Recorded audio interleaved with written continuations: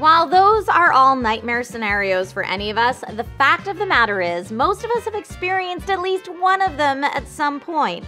Share your horror stories in the comments so we can hold each other and cry gently together. But dry those tears! I'm here to show you simple tips to back up your data so that next time corrupted storage will be one less concern to worry about. This is DIY in 5.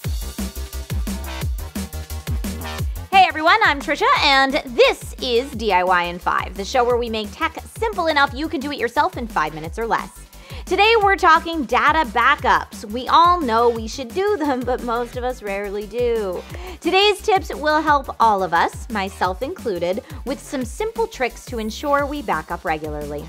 If you find the tips in today's video useful, please feel free to like this video, subscribe to this channel, and ring that bell so that you don't miss out on any future tech tips. First, Limiting what you want to back up will help immensely.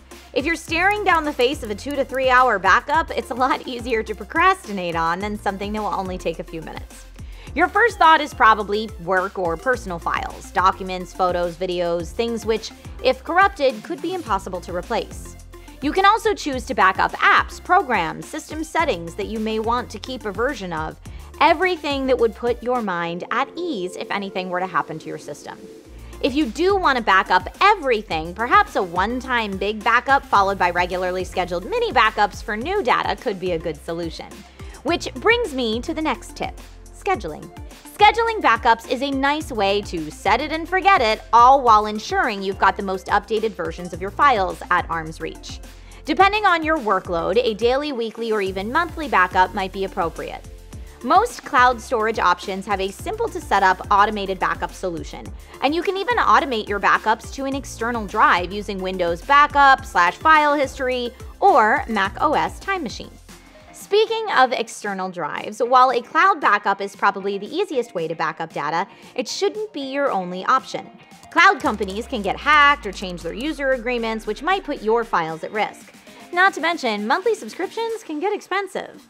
The 3-2-1 backup theory is always a good rule to follow when backing up data. Retain three copies of your data total, two copies on different devices, and one in a secure location such as a safe or off-site. This may be overkill for some, but it's tried and true for a reason.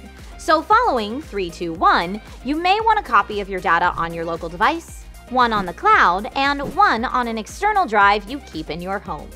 When shopping for an external drive, you need to think about not just its capacity, but its durability and speed, as well as other more specialized features.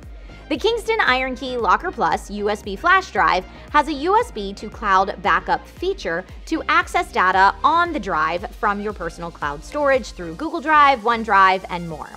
Plus, there's hardware encryption on the drive. Double win!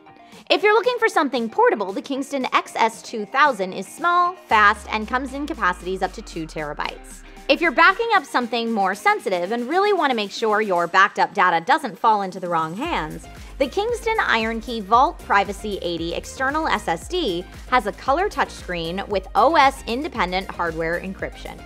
If that all sounds like too much, Kingston also makes USB flash drives, SD and micro SD cards that may work just fine for your needs.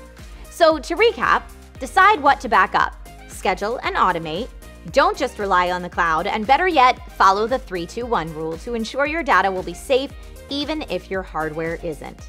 Oof, don't remind me. What's your favorite backup method? Let me know in the comments, and I'll see you next time with more DIY in 5.